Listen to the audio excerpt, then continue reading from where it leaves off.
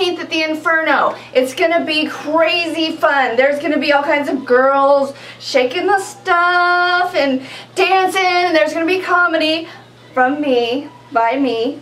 So come out, come out. It'll be a great time. It's only $10. Bring your girlfriend, bring your wife, meet a girlfriend there, whatever.